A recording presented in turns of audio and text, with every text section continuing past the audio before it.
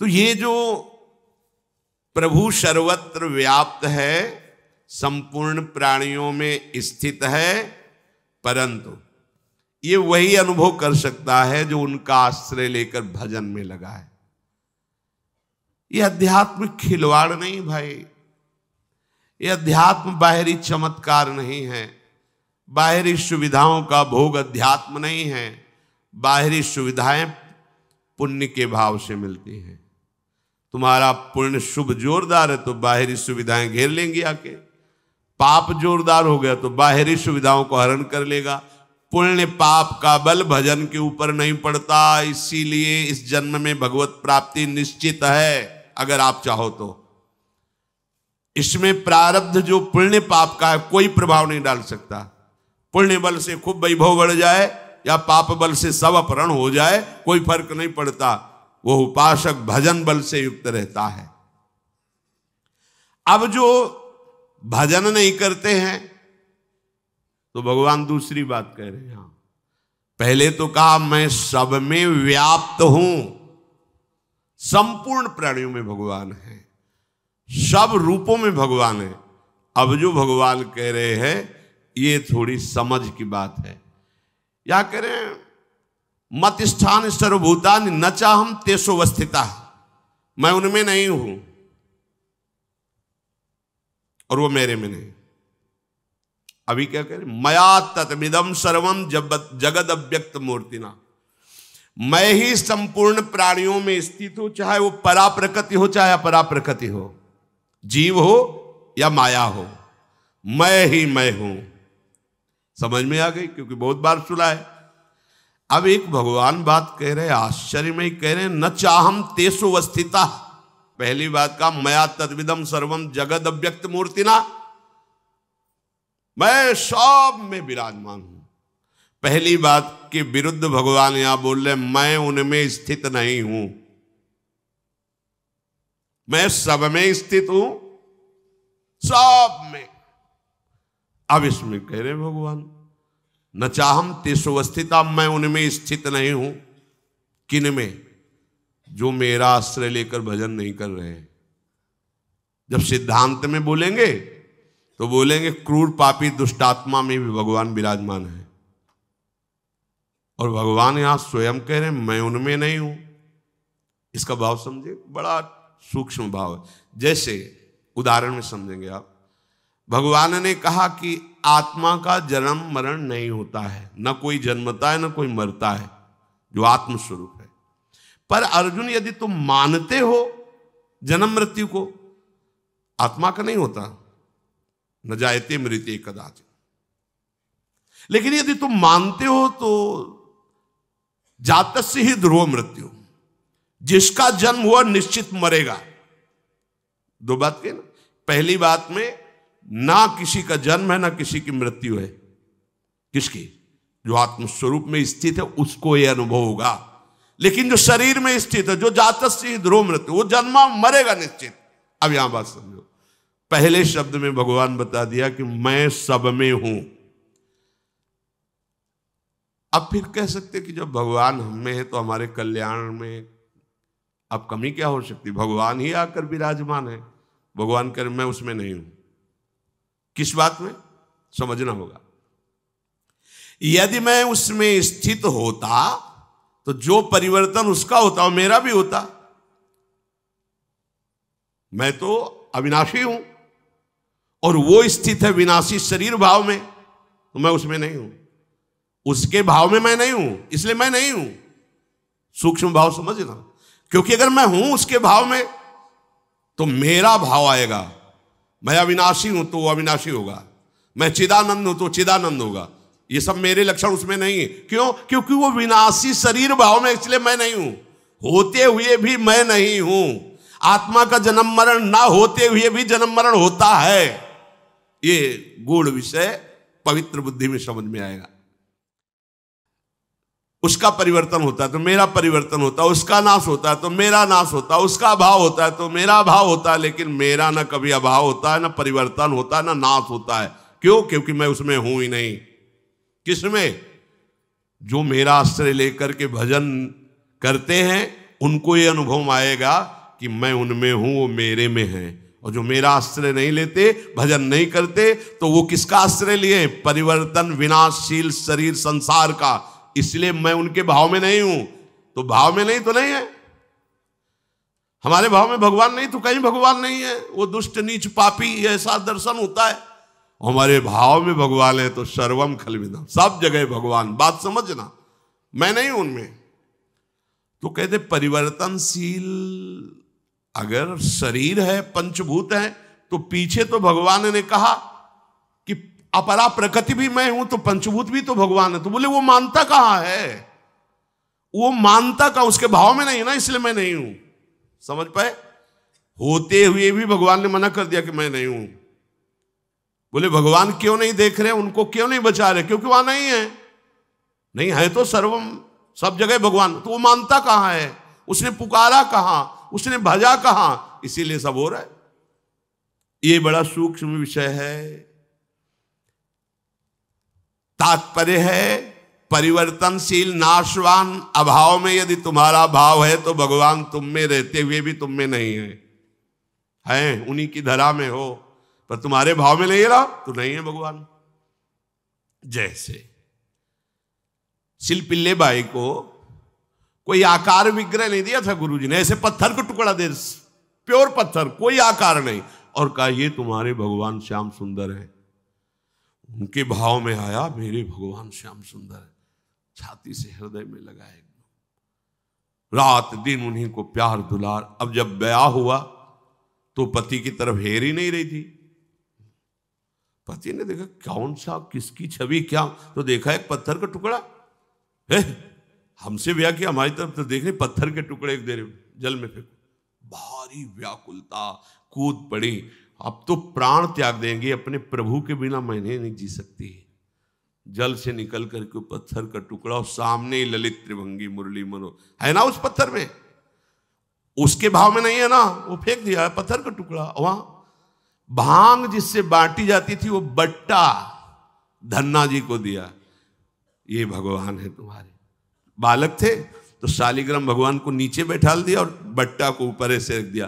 बोले, बड़े ठाकुर चाहिए कि छोटे बोले, हमें तो बड़े ठाकुर चाहिए तो हाँ बड़े वाले ऊपर स्वामी है, ये ले बस नहा के इनको नहला देना और पवा के इनको तुम पा लेना। साक्षात ठाकुर साथ घूमते थे। थे ना? भाँग के बट्टे में अगर हमारा भाव नहीं तो नहीं है ना? वो तो भाँग का बट्टा, कोई श्री विग्रह थोड़ी। हमारे लिए नहीं है, उनके लिए है, बस ये बात समझना है। नचमत स्थान भूतानी। संपूर्ण प्राणी जो, वो मेरे में नहीं, पहले में बताया कि मैं सब में हूँ, उसकी बात के विरुद्ध में बोले कि मैं उनमें नहीं हूँ। अब इसमें, दूसरी बात में सब मेरे में है, उस बात के विरुद्ध कह रहे, वो प्राणी मेरे में नहीं है, क्योंकि यदि मेरे में स्थित होते तो मेरा निर्विकार स्वरूप हो निर्विकार हो जाते बोले, नहीं, अब ये तो भगवान में स्थित है, ये तो भगवान के समान है, क्योंकि भगवान में स्थित नहीं है, वो विकारों में स्थित है, इसलिए भगवान कह रहे वो मेरे में स्थित नहीं है, मैं उसमें स्थित नहीं हूँ। प्रभु जैसे निर्विकार हैं वैसे ही वो निर्विकार हो जाएगा। प्रभु जैसे परमानंद में है, वैसे वो परमानंद हो जाएगा। प्रभु सब काल में, सब समय में, सब व्यक्तियों में है तो ऐसे ही उसको अनुभव हो जाएगा, मैं ही में हूँ, जो यहाँ सो सारे जगत में भेद खत्म। तो मैं उनमें स्थित नहीं वो मेरे में स्थित नहीं है। कौन? जो प्रभु से विमुख है। प्रभु हैं सब में, पर जिनके अंदर प्रभु का भाव नहीं है तो प्रभु वहाँ विराजमान होकर भी कहते मैं वहाँ नहीं हूँ। जैसे दुर्वासा जी को कहा कि जो केवल मेरी अनन्यता में है, मेरे भजन में है, वो केवल मुझे जानते हैं तो मैं केवल उन्हीं को जानता हूँ। देख लो, सर्वज्ञ भगवान क्या कह रहे हैं? वो मुझे जानते हैं, मेरे अनन्य तो मैं उनका अनन्य हूँ, मैं केवल उन्हीं को जानता हूँ। वो मेरे हृदय है, मैं उनका हृदय हूँ। साधु हृदय मई हम। क्या भगवान सबके हृदय नहीं है क्या? फिर क्यों कह रहे साधु हृदय मई उन्होंने अपना हृदय दे दिया तो मेरा हृदय ही उनके हृदय में स्फुरित हो गया। आपने हृदय संसार को दिया तो भगवान हृदयेश्वर हृदय में रहते हुए कह रहे, मैं तुम्हारे हृदय में नहीं हूँ, चिंता मत करो, मनमानी जो करो, अवश्य में भोक्तव्यम, कृतम कर्म शुभा शुभम वो आपने हृदय बिहारी भगवान को पहचान कर अपना हृदय उनके हवाले कर दिया तो कह रहे, चिंता मत करो हम तो हम स्वरूपापे भ्यो मोक्षिष्यामी माँ सोचा तुमने माना कि मैं हूँ तो आप निश्चिंत हो जाओ। तुमने माना कि यहाँ भगवान नहीं है तो मैं नहीं हूँ, हम आँख मुंदे हैं, नहीं है, मान लो नहीं है। तो भोग रहे हैं जन्म मरण को प्राप्त हो रहे हैं।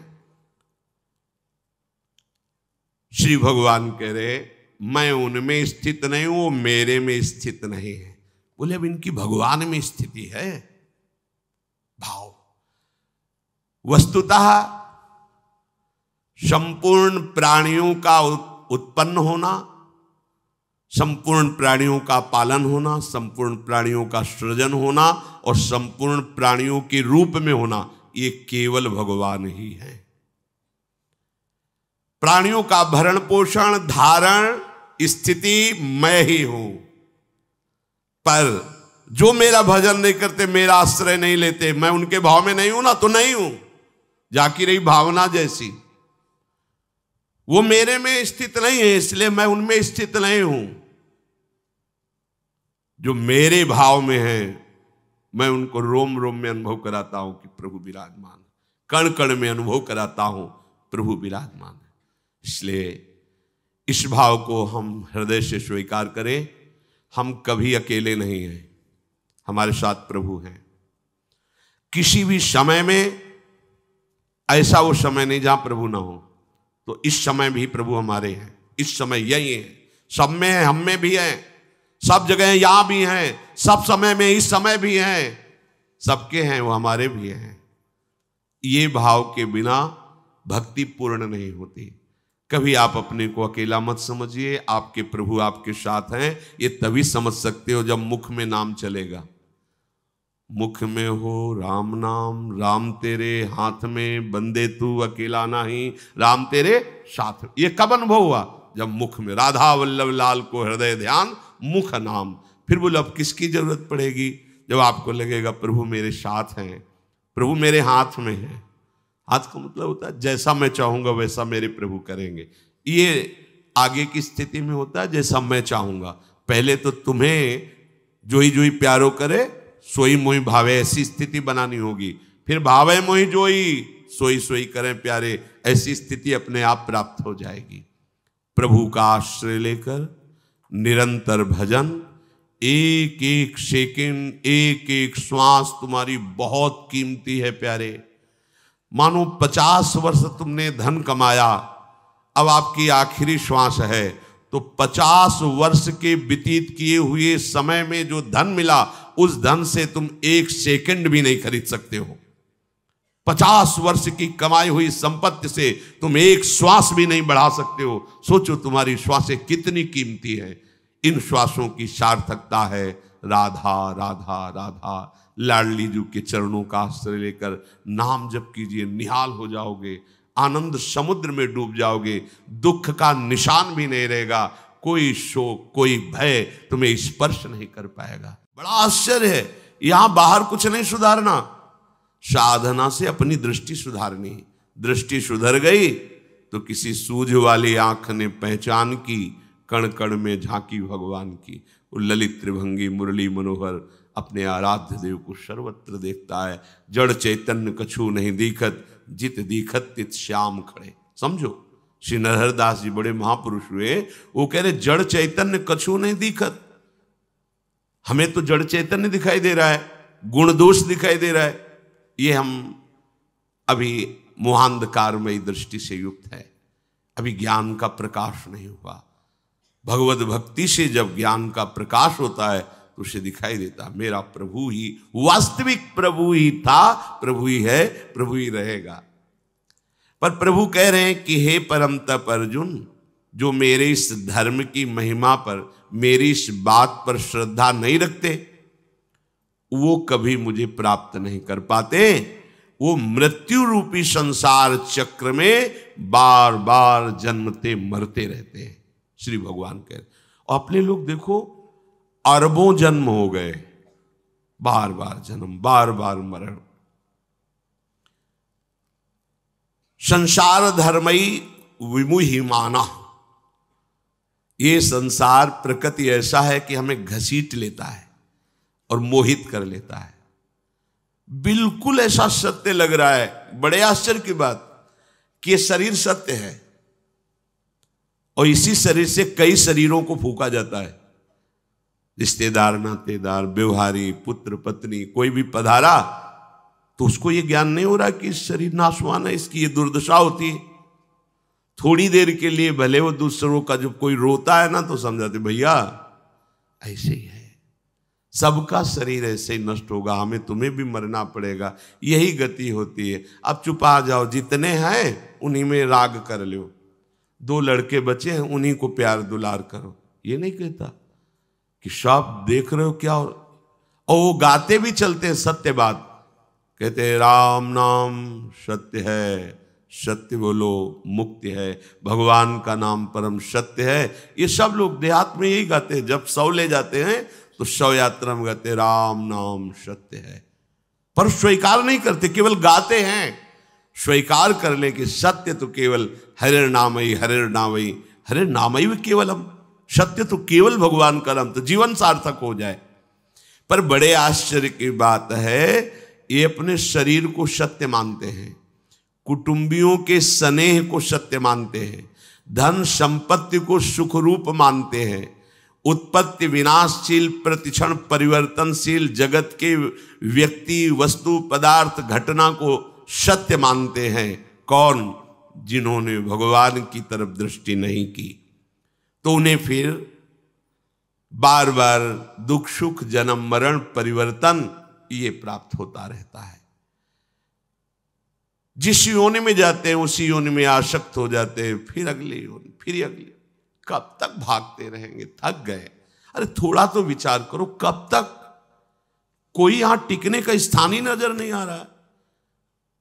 माता पिता के चरणों में सर रखकर स्वतंत्र होकर के तो कितने दिन वो अंतर ध्यान हो जाएँगे वो? किसको हम माने अपना? क्या अपना माने?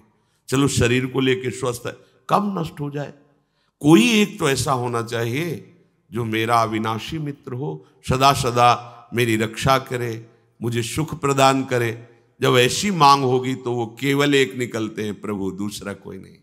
पूरी सृष्टि को छानने के बाद एक ही बात समझ में आ जाती है कि केवल एक हमें प्यार करने वाले, हमारे निरंतर समीप रहने वाले, हमारे अहेतुकी सुहृद कृपालु भगवान है, दूसरा नहीं।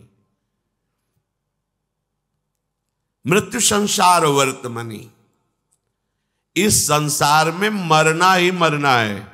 इसका नाम मृत्यु लोक है। मरना ही मरना। प्रश्न उत्तर में आते हैं, कहते हैं कि भगवान का हमने कभी कुछ बुरा तो किया नहीं। भगवान ने हमारे साथ बड़ा बुरा किया। एक ही लड़का था, उसको छीन लिया। अब क्या उत्तर उनको दे? इतने मोहांधकार में फंसे हुए अब क्या उनको उत्तर दे? तुम्हारा लड़का था, तुम जान पाए? तुम्हारी क्या सामर्थ्य है कि तुम कुछ एक अंगुली की भी रचना कर लो? पुत्र बनाना तो बहुत बड़ी बात है। तुम्हारी अंगुली काट दी जाए, तुम नई उसको प्रकट कर दो। तो जाने कि तुमने पुत्र रचना की है।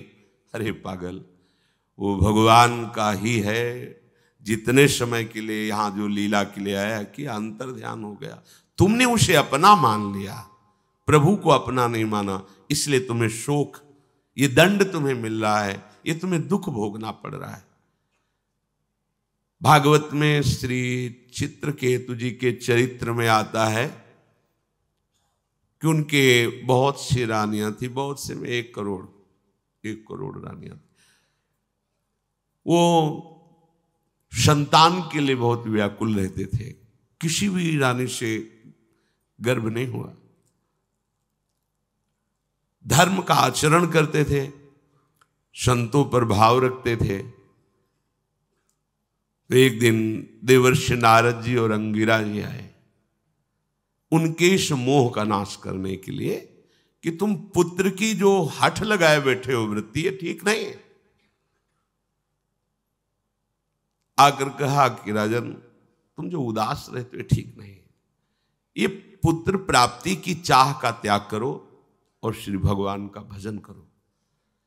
ये कुछ दिन का जीवन है, पुत्र आदि तो एक लौकिक मान्यताएँ हैं, लौकिक संबंध है। उनका हमें ज्ञान की ज़रूरत नहीं इस समय, क्योंकि ममता रत सन ज्ञान कहानी व्यर्थ होती है। जो ममता से युक्त उसके ऊपर ज्ञान का प्रभाव नहीं पड़ता। मुझे पुत्र चाहिए, यदि आप हम पर कृपा करके आए हैं तो हमें पुत्र दीजिए। तो आपको पता होना चाहिए, यहाँ सृष्टि की कोई भी वस्तु एक रस नहीं रहती। इसलिए प्राप्ति में हर्ष होता है और बिछो में शोक होता है। तो आपको पता है, आपको भी हर्ष और शोक ही होगा। पर ममता से जो युक्त होता है, उसको ज्ञान की बातें समझ में नहीं आती। उनका, आप जो कामना कर रहे हैं, ठीक है, भगवान की कृपा से उसकी पूर्ति होगी। सबसे बड़ी जो रानी थी, वो गर्भवती हुई। संतान हुई, बेटा, ओ, बड़ा हर्ष। अब तो जे ही राज दरबार से समय मिलता, सीधे भाग के बड़ी रानी के महल में। जो अन्य रानियाँ थी, वो आपस में बैठकर संगोष्ठी की। जैसे रसिकों की संगोष्ठी होती है, ऐसे प्रपंचियों की भी होती कि अब तो राजा हमारी तरफ़ देखते ही नहीं। बोले, आना, उनके बेटा हो गया, हमारे बेटा नहीं। तो इसलिए बोले, हम सबको राजा की तरफ़ से दूर करने वाला यही तो है ना बेटा। मार देते हैं। बेटा मर जाएगा तो फिर आगे चलकर हम सबसे प्यार करेंगे। ऐसा ही तो जो धायमा सेवा में थी तो रानियाँ ही थी, शासन और प्रलोभन। दोनों वृत्तियों का प्रयोग करके उससे कहा, बालक को जहर दे दो। दूध में जहर दे दिया गया। कुछ समय के बाद बड़ी रानी अपने बच्चे को लाड़ दुलार करने के लिए गई तो देखा श्याम वर्ण, जहर का प्रभाव अब हाहाकार। राजा व्याकुल होकर चित्रकेतु जी आए, कैसा विलाप कर रहे हैं। जब किसी धर्मात्मा को क्लेश होता है तो महात्मा वहाँ ज़रूर पहुँच जाते हैं, या उनको महात्माओं का सहयोग दे दिया जाता है। ये भगवान की तरफ़ से होता है। फिर अंग्राजी देवर्षि नारद पधारे। कहा, राजन, तुमसे कहा था, यहाँ की प्रत्येक वस्तु जो प्राप्त होती है उसमें हर्ष होता है, और चूँकि नाशवान इसलिए जब नष्ट होगी तो शोक होता है। आप हमारी बात को समझ नहीं पाए थे। अब समझ लीजिए। उनका मुझे उपदेश नहीं, मुझे हमारे पुत्र से बात करनी है। बात करनी अभी बुला देता हूँ।